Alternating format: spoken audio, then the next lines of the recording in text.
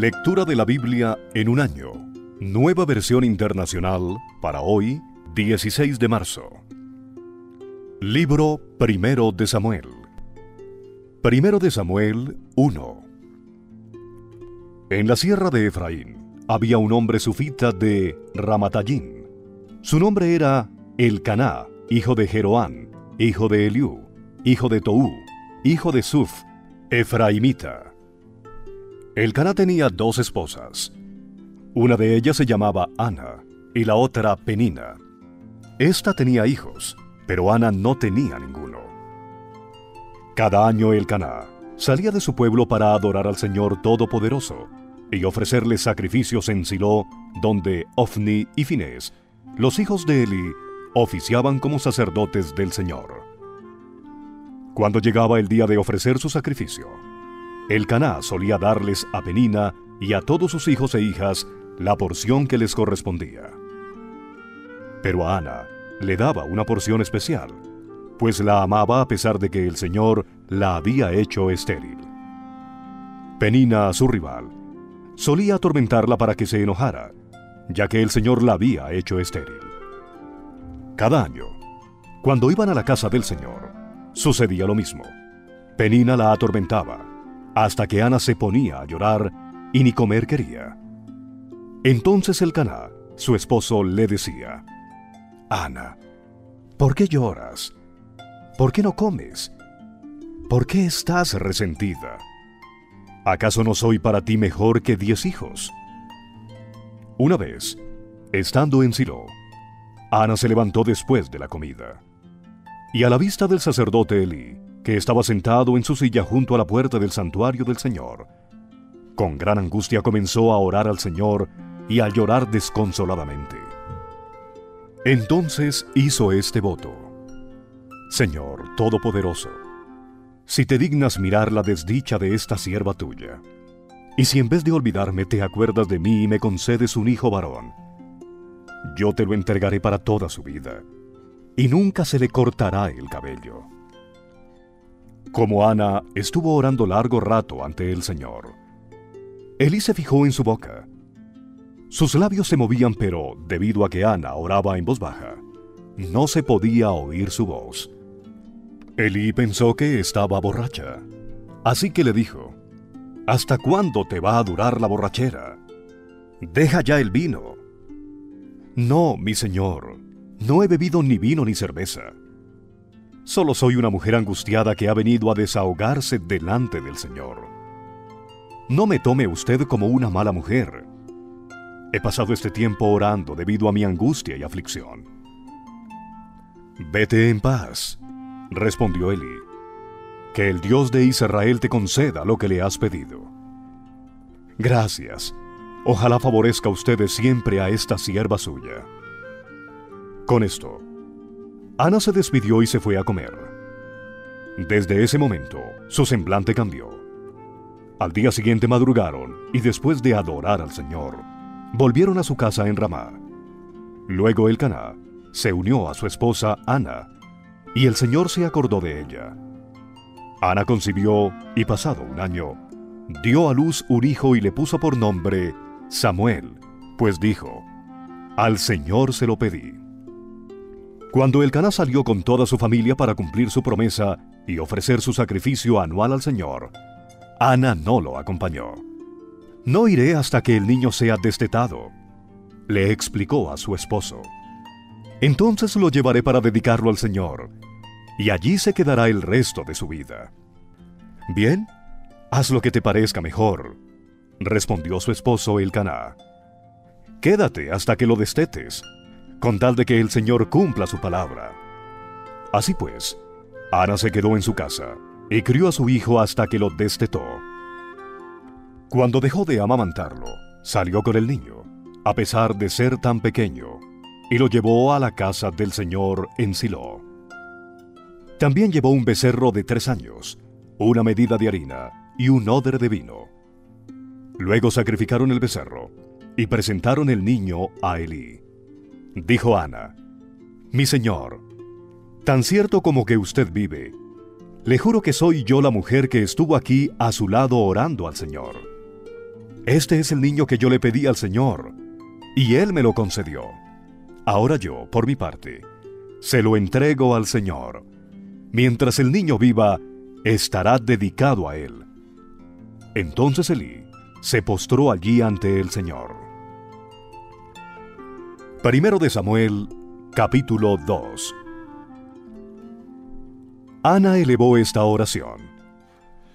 Mi corazón se alegra en el Señor. En Él radica mi poder. Puedo celebrar su salvación y burlarme de mis enemigos.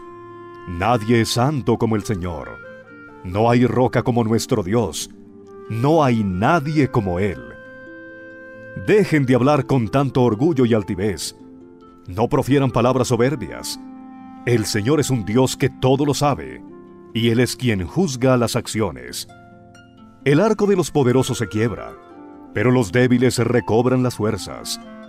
Los que antes tenían comida de sobra, se venden por un pedazo de pan. Los que antes sufrían hambre, ahora viven saciados. La estéril ha dado a luz siete veces, pero la que tenía muchos hijos languidece. Del Señor vienen la muerte y la vida. Él nos hace bajar al sepulcro pero también no se levanta. El Señor da la riqueza y la pobreza. Humilla, pero también enaltece. Levanta del polvo al desvalido y saca del basurero al pobre, para sentarlos en medio de príncipes y darles un trono esplendoroso. Del Señor son los fundamentos de la tierra. Sobre ellos afianzó el mundo. Él guiará los pasos de sus fieles, pero los malvados se perderán entre las sombras. Nadie triunfa por sus propias fuerzas. El Señor destrozará a sus enemigos. Desde el cielo lanzará truenos contra ellos.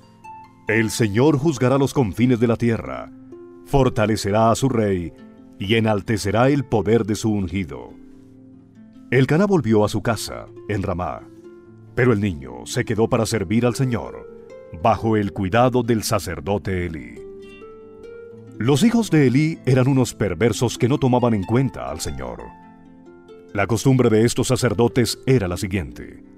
Cuando alguien ofrecía un sacrificio, el asistente del sacerdote se presentaba con un tenedor grande en la mano, y mientras se cocía la carne, metía el tenedor en la olla, en el caldero, en la cacerola o en la cazuela, y el sacerdote tomaba para sí todo lo que se enganchaba en el tenedor. De este modo trataban a todos los israelitas que iban a Silo. Además, antes de quemarse la grasa, solía llegar el ayudante del sacerdote para decirle al que estaba por ofrecer el sacrificio, Dame carne para el asado del sacerdote, pues no te la va a aceptar cocida, sino cruda. Y si el hombre contestaba, Espera a que se queme la grasa, como es debido, luego podrás tomar lo que desees. El asistente replicaba, No, dámela ahora mismo, de lo contrario, te la quito por la fuerza. Así que el pecado de estos jóvenes era gravísimo a los ojos del Señor, pues trataban con desprecio las ofrendas que le pertenecían. El niño Samuel, por su parte, vestido con un efod de lino, seguía sirviendo en la presencia del Señor.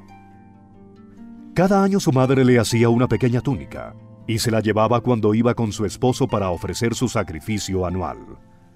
Elí entonces bendecía a Elcaná y a su esposa, diciendo: Que el Señor te conceda hijos de esta mujer, a cambio del niño que ella pidió para dedicárselo al Señor.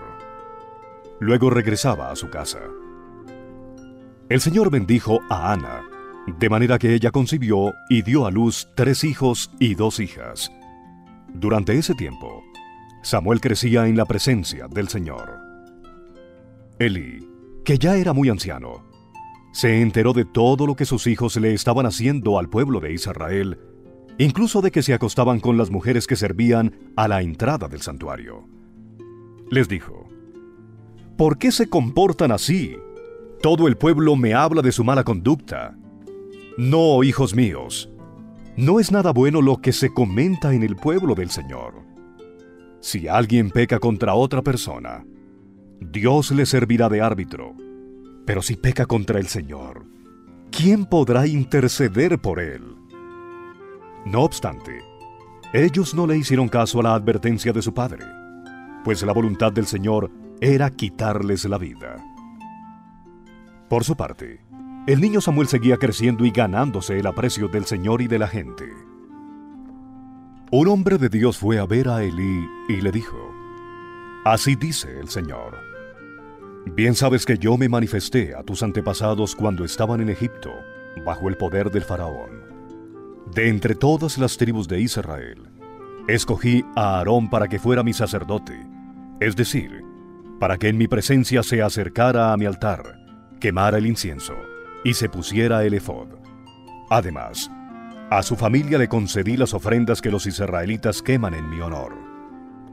¿Por qué, pues, tratan ustedes con tanto desprecio los sacrificios y ofrendas que yo he ordenado que me traigan? ¿Por qué honras a tus hijos más que a mí? Y los engordas con lo mejor de todas las ofrendas de mi pueblo Israel.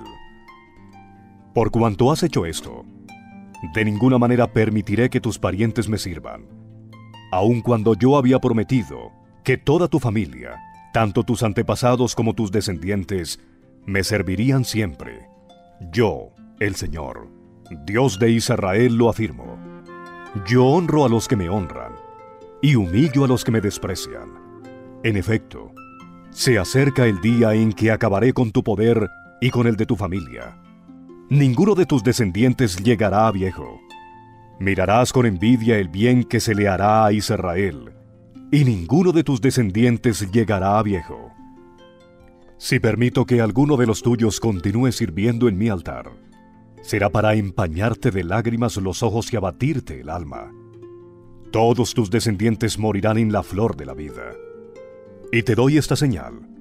Tus dos hijos, Ofni y Finés, morirán el mismo día. Pero yo levantaré a un sacerdote fiel, que hará mi voluntad y cumplirá mis deseos jamás le faltará descendencia, y vivirá una larga vida en presencia de mi ungido. Y los familiares tuyos que sobrevivan vendrán y de rodillas se le rogarán que les regale una moneda de plata o un pedazo de pan. Le suplicarán, dame algún trabajo sacerdotal para mi sustento. Primero de Samuel, capítulo 3. Samuel, que todavía era joven, servía al Señor bajo el cuidado de Elí. En esos tiempos no era común oír la palabra del Señor, ni eran frecuentes las visiones. Elí ya se estaba quedando ciego. Un día, mientras él descansaba en su habitación, Samuel dormía en el santuario del Señor, donde se encontraba el arca de Dios. La lámpara de Dios todavía estaba encendida. El Señor llamó a Samuel, y éste respondió, Aquí estoy. Y enseguida fue corriendo a donde estaba Elí y le dijo, Aquí estoy. ¿Para qué me llamó usted? Yo no te he llamado. Respondió Elí, Vuelve a acostarte. Y Samuel volvió a su cama. Pero una vez más, el Señor lo llamó. Samuel. Él se levantó, fue a donde estaba Elí y le dijo, Aquí estoy. ¿Para qué me llamó usted? Hijo mío, respondió Eli, yo no te he llamado. Vuelve a acostarte. Samuel todavía no conocía al Señor, ni su palabra se le había revelado. Por tercera vez llamó el Señor a Samuel. Él se levantó y fue a donde estaba Elí. Aquí estoy, le dijo. ¿Para qué me llamó usted? Entonces Elí se dio cuenta de que el Señor estaba llamando al muchacho. Ve y acuéstate, le dijo Elí. Si alguien vuelve a llamarte, dile, Habla, Señor, que tu siervo escucha. Así que Samuel se fue y se acostó en su cama. Entonces el Señor se le acercó y lo llamó de nuevo. Samuel, Samuel, habla, que tu siervo escucha. Respondió Samuel. Mira, le dijo el Señor Estoy por hacer en Israel algo que a todo el que lo oiga le quedará retumbando en los oídos. Ese día llevaré a cabo todo lo que he anunciado en contra de Elí y su familia. Ya le dije que por la maldad de sus hijos he condenado a su familia para siempre. Él sabía que estaban blasfemando contra Dios, y sin embargo, no los refrenó. Por lo tanto, hago este juramento en contra de su familia. Ningún sacrificio ni ofrenda podrá expiar jamás el pecado de la familia de Elí. Samuel se acostó y a la mañana siguiente abrió las puertas de la casa del Señor, pero no se atrevía a contarle a Elí la visión. Así que Elí tuvo que llamarlo. Samuel, hijo mío, aquí estoy, respondió Samuel. ¿Qué fue lo que te dijo el Señor? Le preguntó Elí. Te pido que no me lo ocultes. Que Dios te castigue sin piedad si me ocultas una sola palabra de todo lo que te ha dicho. Samuel se lo refirió todo, sin ocultarle nada, y Elí dijo, Él es el Señor, que haga lo que mejor le parezca. Mientras Samuel crecía, el Señor estuvo con él y confirmó todo lo que le había dicho. Y todo Israel, desde Dan hasta Berseba, se dio cuenta de que el Señor había confirmado a Samuel como su profeta. Además, el Señor siguió manifestándose en Silo. Allí se revelaba a Samuel y le comunicaba su palabra.